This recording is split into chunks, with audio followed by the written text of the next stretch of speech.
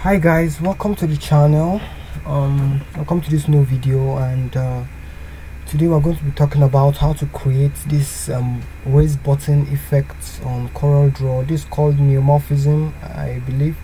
So um, we're going to learn how to make this type of raised button in Corel Draw today.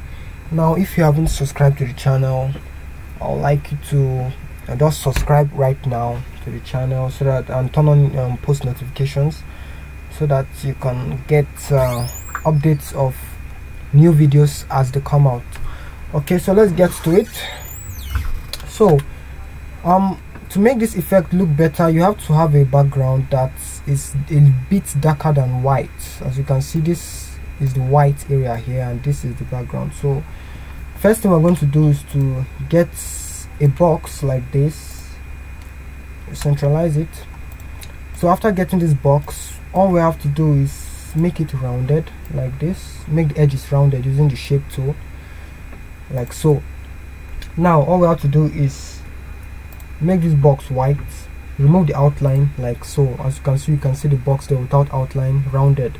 Now the next thing is use the interactive fill tool over here and just draw down like this at this direction. Now this first this side here it should be 10% black here. As you can see the this um the next the color next to the main white. As you do that then this other side should be white. So the next thing you have to do you have to make two copies extra of this so that there will be three. So you make another copy like this and you make another copy like this now this copy you have here one of them you use white background and white shadow and the other one use black shadow. So that's how the effect works. So this first one all you have to do is you come to interactive fill tool over here. Oh sorry. Go to your shadow tool over here. And for this one it's going to be white shadow. So you draw up like this. As you can see you change the shadow to white. Like so then you stretch this up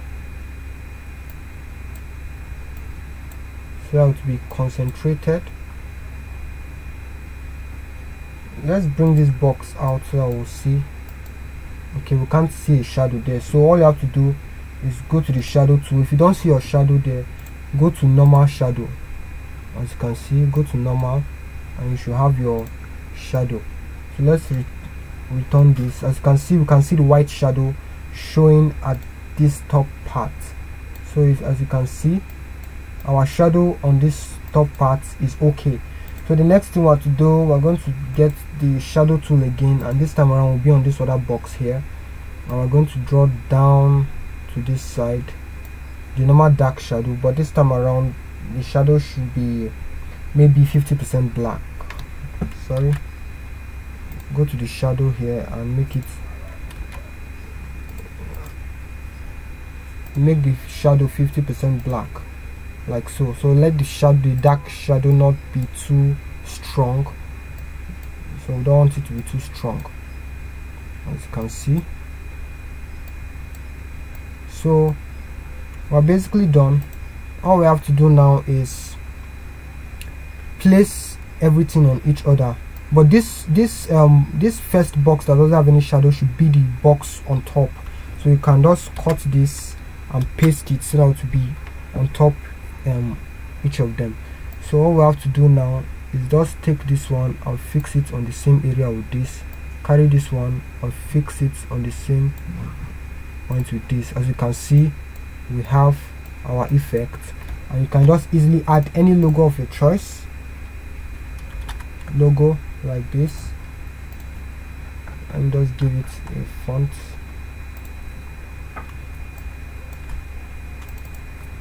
so let me just put an LG let me just put LG and make this uh, gray like so.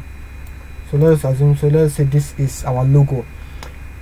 So that's it for this. And um, before I uh, cut this video let's try this tutorial on let's keep this on aside and let's try this on a dark colored background so let's say we have a background like this.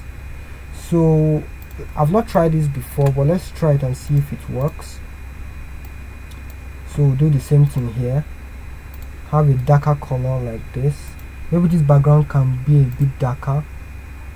Let's see. No no no. I think this one is okay. So now all we have to do is just use our um, interactive fill the same thing like this. We should go from this dark to maybe the background color dark. As you can see this like this. So all we have to do is create two boxes again like we did.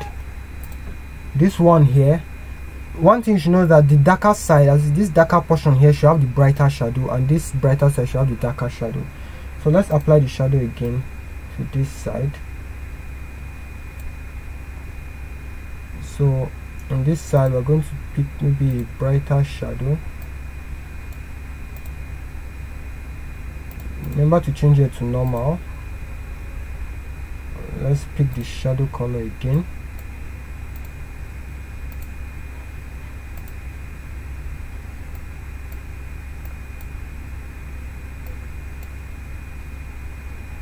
Okay this color can be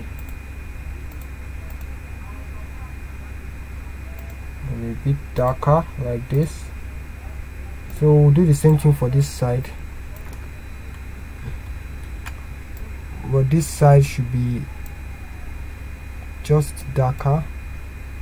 And let's check the darkness let's reduce it a bit.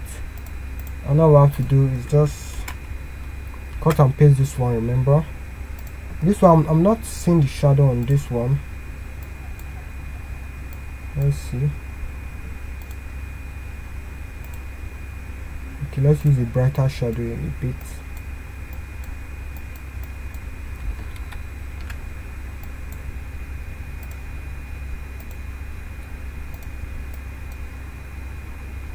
So as you can see just have to tweak this to your taste. As you can see so what we have to do now let's just put them on each other like so and put this one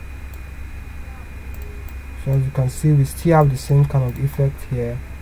And you can just take your time and do it. I'm, I'm just trying to rush so that the video will not be too long but you can take your time since you already know how concept works. You can just take your time and work on it. So something like this as you can see. We have the bright one and we have the dark one so thanks for watching. I would like you to subscribe to the channel and turn on post notifications so you get updates on more of this kind of videos. And um, thanks for watching and see you in the next one